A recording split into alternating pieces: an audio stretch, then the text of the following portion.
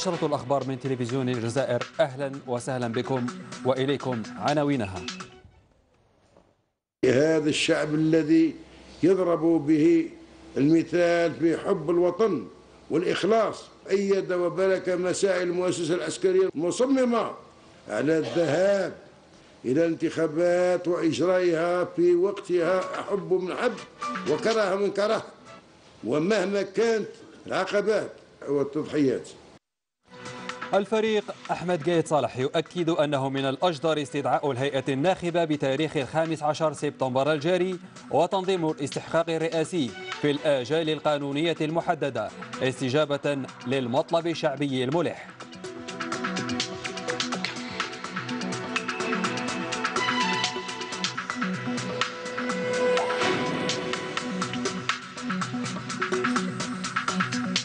الفريق أحمد قايد صالح يدعو إلى ضرورة التنصيب العاجل للهيئة الوطنية المستقلة لتنظيم ومراقبة الانتخابات وتعديل بعض مواد قانون الانتخابات وينوه بالجهود المبذولة والنتائج المحققة على نهج الحوار.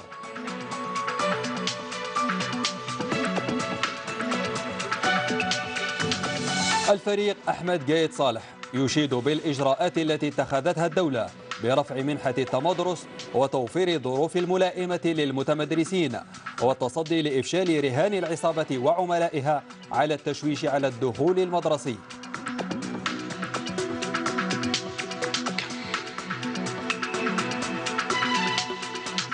الشركاء الاجتماعيون في قطاع التربية يثمنون قرارات الحكومة بخصوص الدخول المدرسي الجديد.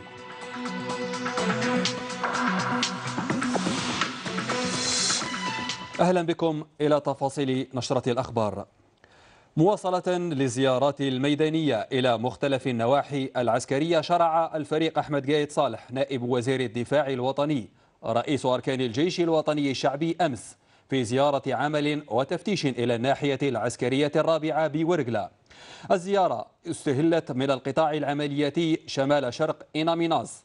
فبعد مراسم الاستقبال ورفقة اللواء حسان عليمية قائد الناحية العسكرية الرابعة تفقد السيد الفريق عددا من وحدات هذا القطاع المرابط على الحدود الجنوبية الشرقية لبلادنا. حيث ألقى بالمناسبة كلمة أكد فيها أنه من الأجدر أن يتم استدعاء الهيئة الناخبة بتاريخ الخامس عشر سبتمبر الجاري. على أن يجري على أن يجري الاستحقاق الرئاسي في الآجال المحددة قانونا. وهي آجال معقولة ومقبولة تعكس مطلبا شعبيا ملحا. موسى باباسا الزيارة استهلت من القطاع العملياتي شمال شرق إناميناس. فبعد مراسم الاستقبال ورفقة اللواء حسن عليمية قائد الناحية العسكرية الرابعة تفقد السيد الفريق عددا من وحدات هذا القطاع المرابطة على الحدود الجنوبية الشرقية لبلادنا على غرار وحدات اللواء 41 مدرع. حيث استمع إلى عرض شامل حول هذه الوحدة الهامة قدمه قائدها ليلتقي بعد ذلك بأفرادها حيث ألقى كلمة بالمناسبة. أكد من خلالها أن من أبرز الأعمال الميدانية التي تشهد بصدق على عقلانية وصدقية ما تحقق هي تلك الجهود الحثيثة المبذولة على كافة المستويات مؤكدا أن القيادة العليا للجيش الوطني الشعبي سليل جيش التحرير الوطني تبذل كل ما في الوسع لتجعل من النهج العملي والمهني لقواتنا المسلحة نسخة حقيقية لذلك النهج القويم الذي سار على دربه وعلى هداه شهداؤنا الأبرار ومجاهدون الأخيار. السيد الفريق في كلمته التوجيهية التي بثت إلى جميع وحدات الناحية عبر تقنية التحاضر المرئي عن بعد تطرق إلى الانتخابات الرئاسية المقبلة مؤكدا أنه من الأجدر أن يتم استدعاء الهيئة الناخبة بتاريخ الخامس عشر سبتمبر الجاري على أن يجرى الاستحقاق الرئاسي في الآجال المحددة قانونا وهي آجال معقولة ومقبولة تعكس مطلبا شعبيا ملحا. كما جدد التنويه بشجاعة وإصرار رجال العدالة على اجتثاث آفة الفساد من بلادنا من خلال فتح جميع الملفات دون استثناء كما أشاد بالإجراءات التي اتخذتها الدولة من خلال رفع منحة التمدرس بنسبة معتبرة توفيرا للظروف الملائمة لإنجاح الدخول المدرسي. فلقد سبق وأن أشرت في مداخلتي السابقة إلى أولوية الشروع الجدي في تحضير الإجراء الانتخابات الرئاسية خلال الأسابيع القليلة القادمة. وها أن اليوم أؤكد على أننا انطلاقا من مهامنا وصلاحيتنا واحترامنا للدستور ولقوانين الجمهورية. نرى أنه من الأجدر أن يتم استدعاء الهيئة الناخبة بتاريخ 15 سبتمبر الجاري على أن يجري الاستحقاق الرئاسي في الأجال المحددة قانونا وهي آجل معقولة ومقبولة.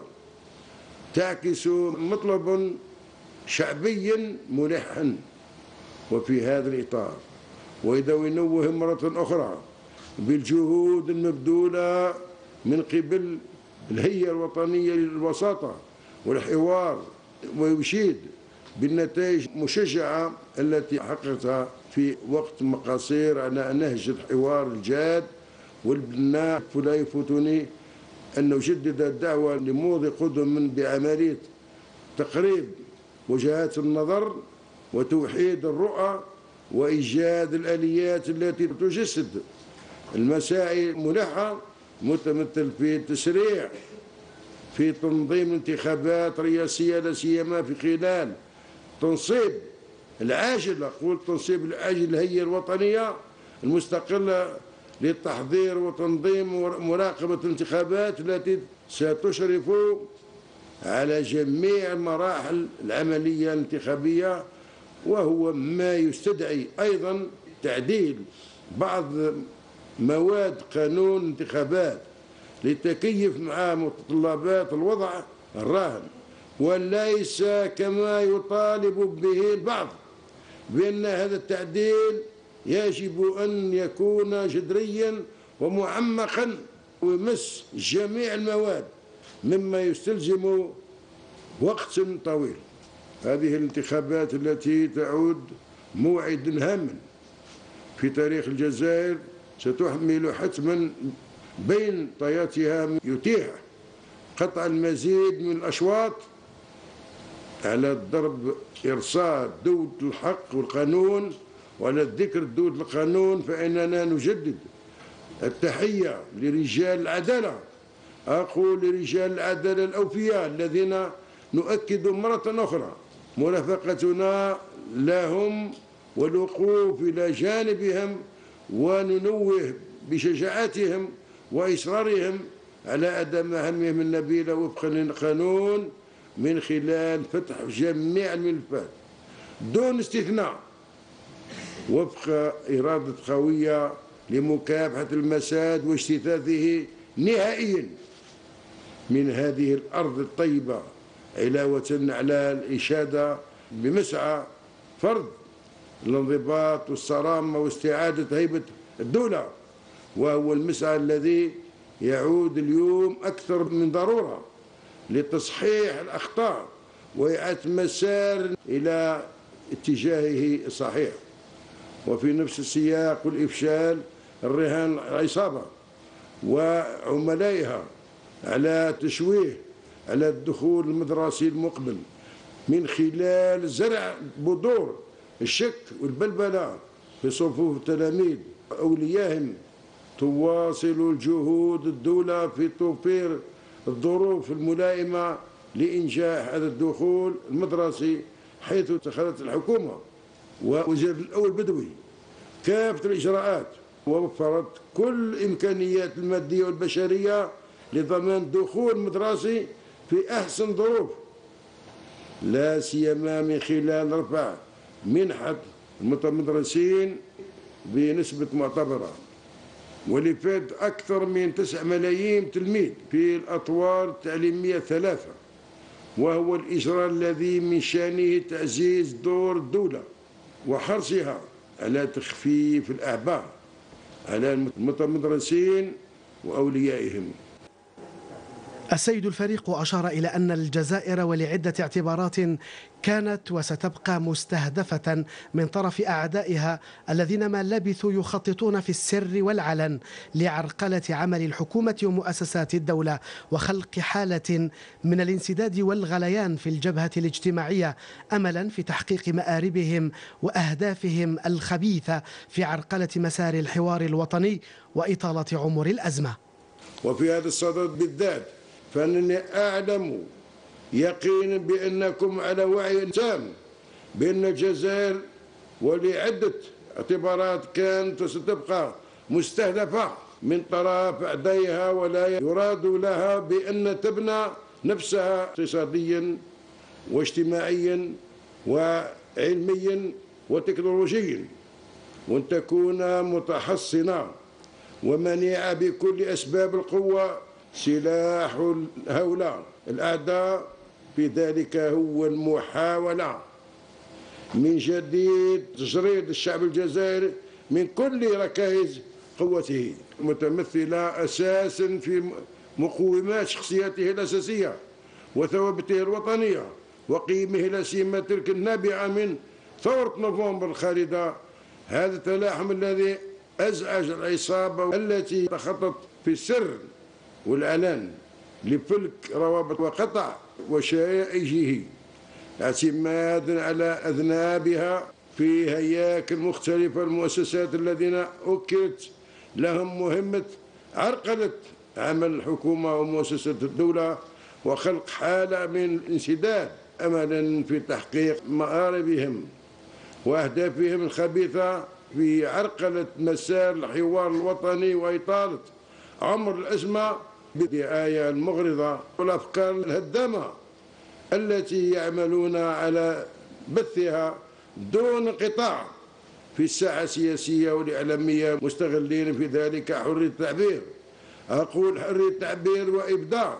الرأي المضمونة دستوريا لكنهم تناسوا عن قصد أن هذه الحرية يجب أن لا تتخطى حدودها وتتجاوز أخلاقيات المتعارفة عليها ولتسقط إلى مستويات منحطة تصل إلى حد شتم والقذف وهو أمر غير مقبول قانونا وإخلاقا وعرفا.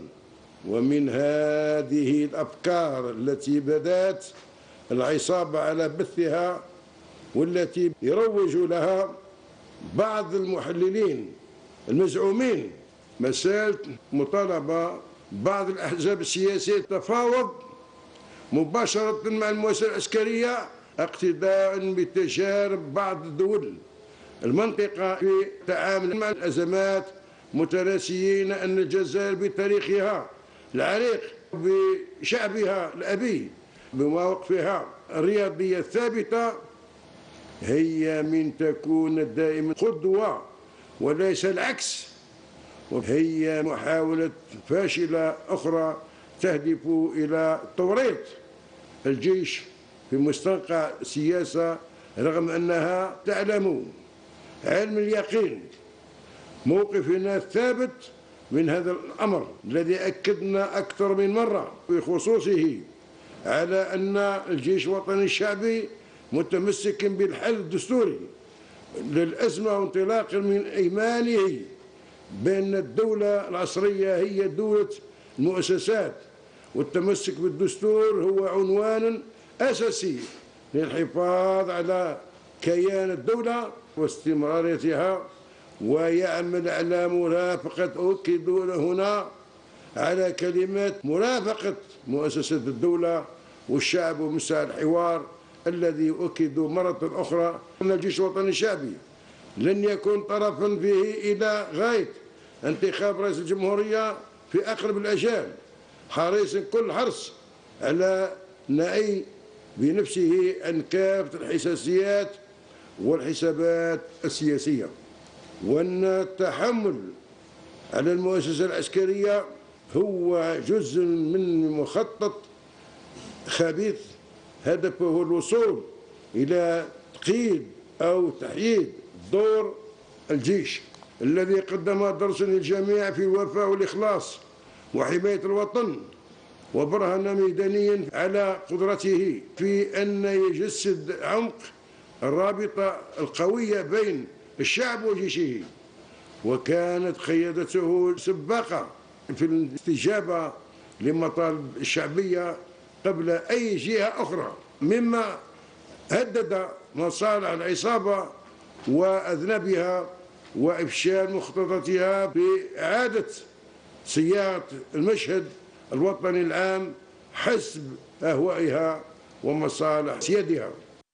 السيد الفريق أكد أن الجيش الوطني الشعبي ليس ضد حرية التعبير واختلاف الآراء البناءة لكنه لن يسكت على محاولات عرقلة عمل مؤسسات الدولة وسيتصدى لهذه المحاولات بكل صرامة انطلاقا من مهامه وصلاحياته الدستورية. وعليه أن نؤكد على أننا ليس ضد حرية التعبير واختلاف الرأي البناء وأننا ضد سياسة الإقصاء والتهميش فإننا في الجيش الوطني الشعبي نؤكد أيضا أننا لن نسكت على محاولة عرقلة العمل مؤسسات الدولة وسنتصدي بكل صرامة وانطلاقا من مهامنا وصلاحياتنا الدستورية لهذه المحاولات التي ترمي إلى إطالة عمر الأزمة وعرقلة المسار التنموي للوطن والوقوف ضد إرادة الشعب الذي أكد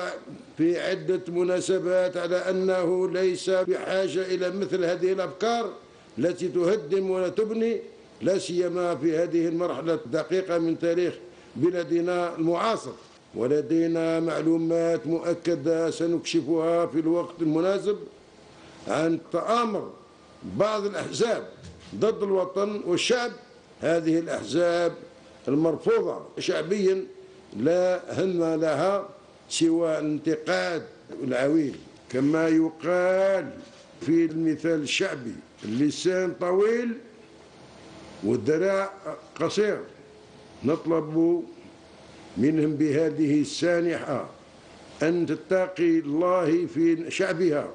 ووطنها وتتحلى بالقليل من الكرامة والشرف والتمسك بأخلاقيات العمل السياسي وتكف عن وضع العقبات على طريق مبادرات المخلصين لخروج ببلاد من الأزمة. ونقول لهم اتركوا الجزاء لأبنائها الأوفياء فهم جديرون بها وقادرون على بنائها وحمايتها وإننا على يقين أن شعبنا الأبي طواق إلى العيش في سلام وطمأنينة في كنفي الأمن والاستقرار.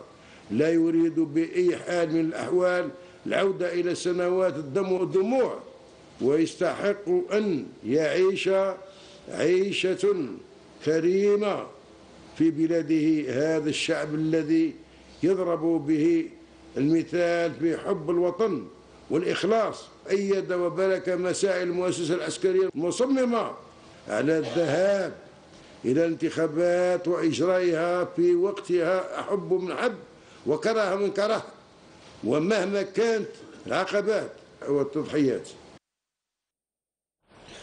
دور الجيش الوطني الشعبي ومرافقته لمسعى إيجاد الحلول عبر الإسراع في تنظيم انتخابات رئاسية. يلقى إجماعا لدى فواعل المجتمع المدني والمواطنين. نتابع. أنا مع قيد صرح إلى يوم الدين. قرار تاع رجال آه، اللي يحبوا اللي يحبوا الوطن. الجيش آه، راهو يقوم بالواجب تاعو. لازم راهو يقوم على بالك آه، الحراسة تاع الحدود على بالك المنطقة راهي صعيبة بزاف. وزيد لازم الشعب ثاني لازم يكون واعي لازم يكون واعي parce que المرحلة راهي صعيبة بزاف. اني مع قايد صالح على القرار اللي خداه puisque ال vote لازم وعفسه logique لازم ي voter parce que impossible تقعد البلاد بلا رايس. هكا ما نقدروش ما نصوفوش نقعدوا غير هكا في المسيرة وما إلى ما لا نهاية. هذه هي. ثم لازم ال vote باش ت stabiliser البلاد. مادام قرر قرار مليح راهو في صالح البلاد وموش ضد البلاد. قيصر عمره ما كان ضد البلاد. وراهو إنسان مجاهد هذا ما نقولوش مطلب نتاع قيد الأركان. هذا قيد الأركان كما مشى مع الشعب. نهار خرج الشعب للشارع قال قال لا للعهدة الخامسة. اليوم أراه مع الشعب. هذا مطلب شعبي. نتاع إجراء انتخابات رئاسية في وقتها وفي موعدها. ورانا توخرنا. أعتقد أن الذهاب إلى انتخابات رئاسية في أقرب وقت واستدعاء الناخبة هو الحل الوحيد لإخراج الجزائر من عنق الزجاجة. الجيش الشعبي الوطني تاعنا جيش اللي راهو سلل جيش التحرير اللي نتمناو له الخير ونثيقوا فيه. خطاكش ما عندناش خيار آخر. هذا الجيش هذا راه ما قبل الاستقلال وبعد الاستقلال ووقت الإرهاب. هما اللي وقفوا وكانوا واقفين وإن شاء الله نتمناو لهم الخير ونديروا ثقتنا فيهم ونعاونوهم ونكونوا سند لهم نؤكد أن المصلحة العليا للوطن تقتضي الذهاب إلى انتخابات رئاسية شفافة في أسرع وقت. أنا مع القايد صالح. خاطر هو اللي راه حامي البلاد. كون مشي هو كون البلاد راه حدا زمان الجيش كما نقولوا إحنا راه معنا وراه قايم كما نقولوا إحنا بالدور تاعو. وصورته كما نقولوا حنايا القايد صالح. يعطيه الصحة. يعني بارك الله فيه يعني عندنا حاجة راه يدير حاجة مليحة للبلاد وراه يصفي في هذوك العصابة هذيك. وحنا ماذا بينا يجي رئيس مليح للبلاد ويعدل لنا البلاد وتكون البلاد مستقرة وهانية. إحنا مع نأيدوا الرأي اللي قاده قائد أركان قايد صالح. وماذا بينا تكون الانتخابات في أسرع وقت ممكن؟ باش تكون نتيجة للمواطن ونتيجة آه للبلاد. باسكو إلا قعدنا كيما هكا ماهوش حل. قرار اللي اتخذه رئيس الأركان السيد قايد صالح هو قرار الشعب الشعب الجزائري كل مثلا من عنابة من الجزائر من وهران من كل. إحنا لازمنا رئيس مهما وش تكون. مهما وش تكون في الجزائر لازمنا رئيس جمهورية. التقت الهيئة الوطنية للوساطة والحوار أمس ممثلين عن أزيد من 30 جمعية ومنظمة وطنية حيث تم التأكيد على وجوب إعداد مشروعي تعديل القانون العضوي للانتخابات وقانون استحداث سلطة وطنية لتنظيم الانتخابات. المتابعة لهدى الوابح. النيابة. أكد المشاركون اليوم في هذا اللقاء على تدعيم الحوار الجاد والمسؤول كسبيل لتحقيق التوافق الوطني بين كل أطياف المجتمع. اللوب الموضوع الوساطة هي تقارب وجهة نظر في كل ما يجري في الوطن والخروج بوثيقة وثيقة يعني تجمعنا وثيقة تنظم مستقبلنا. لابد من من انتخاب رئيس الجمهورية كمرحلة الأولى والانتخاب رئيس الجمهورية لابد من تحضير الأرضية لابد من تحضير الأرضية اللازمة في بخصوص تعديل قانون الانتخابات وسن قانون جديد خاص بقانون عضوي طبعا خاص بسلطه تسمى السلطة الوطنية أو السلطة العليا لتنظيم ومراقبة الانتخابات واعلان نتائجها من أول العمل من أول العملية الانتخابيه إلى نهايتها. مداخلات ممثلي الجمعيات والمنظمات الوطنية المشاركة تمحورت حول ضرورة التسريع في تنظيم الرئاسيات وتوفير الجو المناسب لها المقترح نتاعنا يكون في انتخابات رئاسية عاجلة. استمرار تأمين الجيش للحياة المدنية وحماية الممتلكات والأشخاص بنفس القدر اللي رافق به الحوار وهذا نحن ندعمه ونثمن عليه. الحاجة الثانية وهو أن الذهاب في أسرع وقت لانتخابات رئاسية عاجلة. الهدف الأساسي هو تنظيم انتخابات حرة نزيهة وشفافة. كل المواطنين المخلصين أن يكونوا يتماسكوا جميعا مع مؤسسة الجيش الوطني الشعبي للإسراع في إيجاد مخرج للانتخابات تنظيم الانتخابات في أسرع وقت هذا وقد كشف المنسق العام للهيئة الوطنية للحوار والوساطة عقب اللقاء عن تقديم مقترحين في غضون اليومين القادمين يتعلقان بتعديل قانون الانتخابات وكذا إنشاء الهيئة المستقلة المكلفة بتحضير وتنظيم ومراقبة العملية الانتخابية. وضمن سلسلة لقاءاتها مع الأحزاب السياسية وتنظيمات المجتمع المدني والشخصيات الوطنية التقت الهيئة الوطنية للوساطة والحوار أمس رئيس الجبهة الوطنية للحريات محمد زروقي. إحنا اليوم لبينا الدعوة صفتنا كرئيس حزب الجبهة الوطنية للحريات قدمنا مطالب. واقتراحات إنشاء لجنة مستقلة لمراقبة الانتخابات بعيدة عن كل الإدارة. كما التقت الهيئة الوطنية للوساطة والحوار أمس أيضا رئيس جبهة رئيس حزب جبهة النضال الوطني عبد الله حداد الذي دعا إلى مراجعة قانون الانتخابات من خلال نقاش وتشاور شامل وبناء مثمنا بالمناسبة مرافقة الجيش لهذه المرحلة. وفي هذا الصدد لا يفوت جبهة النضال الوطني. بعد عقد المجلس الوطني للجبهة أن تحيي مرافقة المؤسسة العسكرية لتفادي أي انزلاق. وبجريدة الشعب نظمت الأسرة الجامعية من أساتذة جامعيين وطلبة جلسة مناقشة حول الوضع الحالي للبلاد تحت شعار من الحراك إلى الحوار حيث تم اقتراح آليات للخروج من الأزمة من خلال الإسراع في تنظيم انتخابات رئاسية نزيهة وشفافة. الحوار والإسراع في تنظيم الانتخابات الرئاسية مطلب شعبي ملح. قايد صالح هذا لازم يقعد هو اللي حمى البلاد وكان مشي جاي تخلطت والله العظيم. كاين ناس يديروا في المشاكل بالعاني. ياك النهار اللي بداو المرة الأولى قال لك الجزائر كاع خاوة خاوة. ياك ما كان ني قبالي ني عربي ني آه ني مزابي ني والو. الجزائر كاع عندها علم واحد كاع نضربوا على العلم هذاك. ياك ومن بعد دوك بداو يخلطوا. لازم نروحوا للرئاسيات في أقرب فرصة. آه أقرب وقت. خاطر علشان تبان لي البلاد بلا رئيس ماشي بلاد. وانا شفنا بلدان اللي آه، تماطلوا باش يديروا رئيس وكاع راحوا للخراب وراحوا للفتن وكاع. دونك لازم آه لازم نروحوا للانتخابات لازم نروحوا للرئاسيات في أقرب وقت. ما عندناش حل واحد آخر.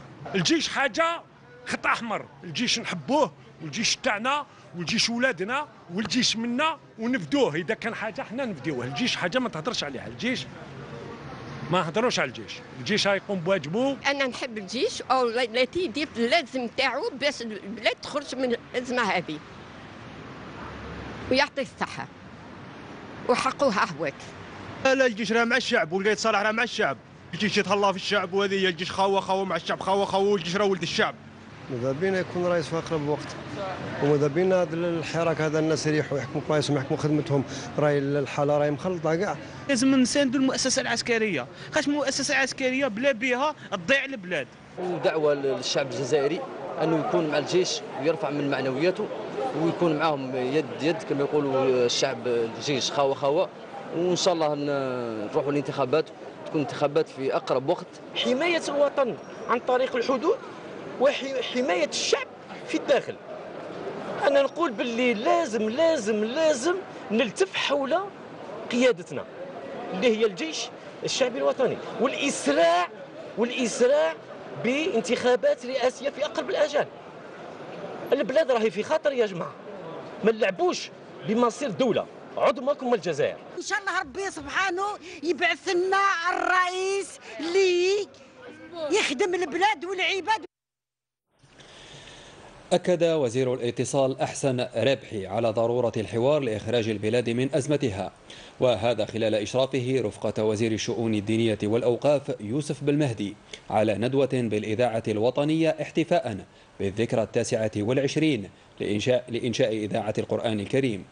الندوة تناولت موضوع الحوار وأهميته في تحصين المجتمع من الفتن والانقسام وجرت بحضور رئيس المجلس الإسلامي الأعلى أبو عبد الله غلام الله ورئيس المجلس الأعلى للغة العربية صالح بالعيد والمدير العام للتلفزيون سليم رباحي والمديرة العامة بالنيابة للإذاعة الوطنية نصيرة شريد إن الحوار كمعطى حضاري وأولوية في بلادنا اليوم تفرضه ظروف نعيشها معا وهو ما يستدعي التقارب في الأفكار والرؤى بعيدا عن ثقافة الإلغاء والإقصاء التي لن تجدي نفعا في السير بالجزائر قدما نحو ما يتمناه الجميع. وطنا آمنا ومستقرا يتيح فرص الرقي والازدهار والتطلع نحو بناء مستقبل مشرق للأجيال القادمة. حوار يلتقي فيه الجميع من أجل المصلحة العليا بلا زيف ولا حسابات ضيقة ومصالح خاصة. حوار تجتمع فيه الأفكار وتتنافح وتتقارب وتثمن بعضها البعض بل تبني قوتها من قوة بعضهما لتضيف للموجود من أجل المنشود لدى الجميع خاصة في ظل رعاية مؤسسة الجيش الوطني الشعبي. وما توليه قيادتها الموقرة من حرص كبير وما تتسم به من يقظة فائقة لتفويت الفرص على من لا يريدون خيرا ولا أمانا وأمنا للشعب الجزائري انطلاقا من مرجعيتها النوفمبرية الأصيلة والثابتة وإيمانا بالضرورة الملحة للقطيعة مع كل ما من شأنه الضرر والمساس بحرمة البلاد وبمناعة مؤسساتها السيادية. ولا يسعنا بالمناسبة إلا الإشادة عاليا بالخيرين الشرفاء الذين لبوا نداء الوطن لصالح وساطة تلم الإرادات البناءة وحوار, وحوار قوامه التشاور المسؤول مآله الانتقال بالبلاد إلى مرحلة نوعية جديدة من خلال تنظيم انتخابات رئاسية ديمقراطية ونزيهة في أقرب الآجال. نحن نقول لشبابنا الحوار فرصة الحوار الاجتماعي فرصة الحوار السياسي فرصة الحوار الأدبي فرصة الحوار الإعلامي فرصة. ينبغي أن نلبي هذا النداء وكن توافق من نفسك. طيب علاش ما نتحاوروش إحنا في بعضنا؟ ما الذي يمنعنا؟ نريد إذن أن نسير على هذا هذه هذا النور وهذه البصيرة التي نسأل الله سبحانه عز وجل أن يجعل بداية هذه السنة بداية خير على المجتمع الجزائري ونفوت الفرصة على الذين يدعوننا إلى أن نتدابر في النشاط البرلماني يفتتح اليوم البرلمان آه، بغرفتيه دورته العادية 2019-2020 في الحدث التربوي أعلن وزير التربية الوطنية عبد الحكيم بالعابد عن استعداد القطاع لاستقبال أزيد من تسعة ملايين متمدرس خلال الموسم الدراسي الجديد. بعد استلام عدد غير مسبوق من الهياكل المدرسية. جاء هذا خلال ندوة وطنية جمعته بمديري التربية. تم خلالها الوقوف على أهم القرارات والإجراءات التنظيمية من أجل دخول مدرسي ناجح سناء بولقصيبات الأسرة التربوية الجزائرية تعد العدة لالتحاق أزيد من تسعة ملايين متمدرس.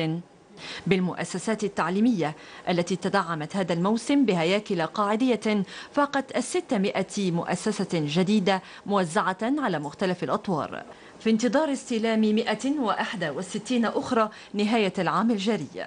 كما استفاد القطاع لتأطير هذه المؤسسات الجديدة من 8041 منصبا ماليا جديد.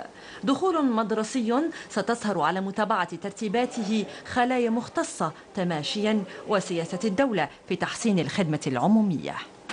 ويأتي الدخول المدرسي 2019-2020 في سياق وطني يتسم بحركية جديدة للمجتمع الجزائري تقوم على تكريس مبادئ الديمقراطية وحقوق الإنسان والإنصاف والمساواة وتكافؤ الفرص والمشاركة المواطنية تكريسا لجزائر جديدة. وسامها محاربة الفساد والرشوة والمحسوبية والإقصاء والتهميش والنهب والسطو على مقدرات الشعب وهي كلها أمور تدخل في صميم رسالة المدرسة الجزائرية أكد المجتمعون بالندوة على ضرورة تقريب المدرسة من التلميذ والعمل على تقليص أعدادهم في الفوج الواحد والقضاء تدريجيا على نظام الدوامين بالتعليم الابتدائي كأولوية ضمن التوجه الجديد نحو مدرسة ذات نوعية ومردودية. تحقيق مدرسة ذات نوعية تضمن الإنصاف وتكافؤ الفرص لجميع الأطفال للاستفادة من تعليم نوعي وجيه فعال وجامع. وكذلك تطوير منظومة مدرسية لا تقتصر على ضمان التمدرس فحسب بل تمنح لكل تلميذ نفس فرص النجاح ومواصلة دراسته وضمان مكانته في الحياة الاجتماعية والمهنية. ومن بين التدابير الجديدة متابعة الأداء ولاية بولاية إن على مستوى المناهج والتسيير وتوزيع الكتب المدرسية لتحسين ظروف التمدرس على اعتبار المدرسة إحدى أقوى أدوات الدولة وأهم معاقل بناء الهوية الوطنية. هذا واستقبل أمس وزير التربية الوطنية عبد الحكيم بالعابد ممثلي النقابات التابعة لقطاع التربية حيث استمع إلى انشغالاتهم مؤكدا أنه ستتم دراستها ضمن لقاءات ثنائية للنظر فيها وإيجاد الحلول المناسبة لها. ممثلو النقابات المشاركين في اللقاء ثمنوا بدورهم القرارات الأخيرة التي اتخذتها الحكومة مؤكدين استعدادهم التام لإنجاح الدخول المدرسي الجديد. هذا وثمن الشركاء الاجتماعيون قرارات الحكومة خاصة تلك المتعلقة برفع المنحة الدراسية. استقبلنا بصدر رحب الإجراءات اللي اللي قامت بها الحكومة وأعلن عليها اليوم وزير التربية الوطنية كرفع منحة تاع التمرس تاع التلاميذ لأنه هذا كان مطلب أساسي بالنسبة للنقابه تاعنا أيضا الدخول المدرسي ليس كما كالسنوات السابقة أكيد ولكن التمسنا إرادة قوية من الوزير شخصيا وزير التربية على تجاوز كل الصعوبات وقد قام بعدة إجراءات كإنشاء ثلاث خلايا وهي سابقة لمتابعة الدخول وأظن انه هذا الدخول سيكون عادي مثل أي دخول في السنوات الماضية. وإحنا على قناعة تامة بأن بعد يعني توفير هذه الإمكانيات الضخمه لا سيما ما تعلق بالمؤسسات التربوية واللي فيه أكثر من 400 مؤسسة جديدة راح يضمن يعني دخول مدرسي ومن خلاله دخول اجتماعي مستقر. وإحنا وجودنا كشركاء اجتماعيين ترجمة صريحة وواضحة للرغبة تاعنا الملحة في إنجاح الدخول المدرسي القرارات اللي اتخذتهم الحكومة أكيد إحنا نثمنوها ونباركوا بها لأن إذا كان المنحة تاع 40 ألف تطلع ل 300 ألف يعني كل تلميذ متمدرس أكيد أن العائلة اليوم تقدر تقول باللي تقدر تواجه وكل المصاريف. المصاريف اللي يعني تجي من الدخول المدرسي.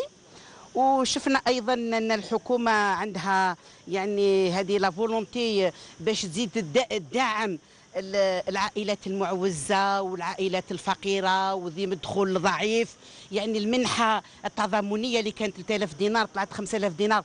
وإحنا كفيدرالي وطني جمعيتي ولا تلاميذ عدة سنوات وحنا نطالبوا بذلك. وإحنا دونك نباركوا ونثمنوا القرار. القرارات الأخيرة تاع الحكومة وهي اولا برفع منحة التمدرس من 400 دينار إلى 3000 دينار.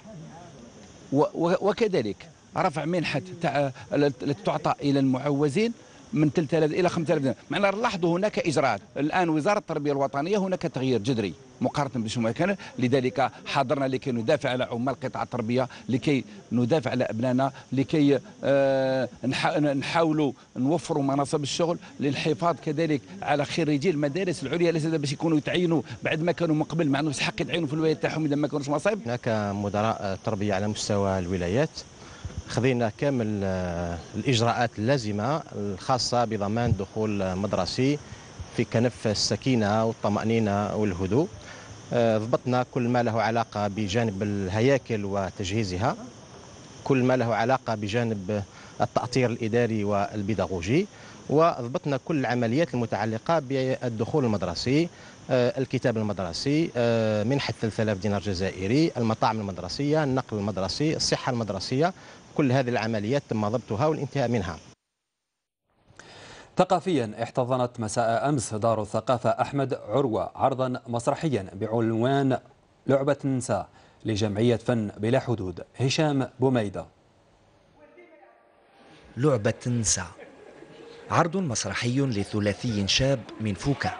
مثلوا جمعية فن بلا حدود وقدموا على الخشبة كوميديا اجتماعية في قالب فكاهي هزلي لنص الكاتب يوسف تعوينت.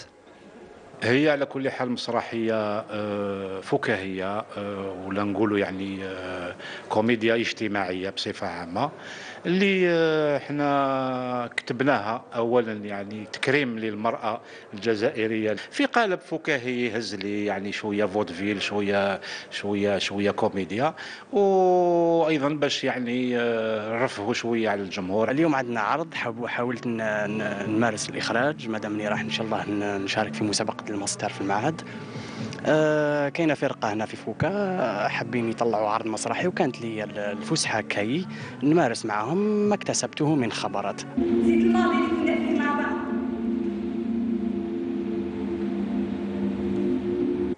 تقديم المسرح داخل المسرح. عبر قصة ضابطة شرطة تجرب حظها في التمثيل المسرحي قصد اقتحام الوسط الفني بهدف حل قضية. في الختام يستهويها الفن وتأخذ الحكاية منحا آخر.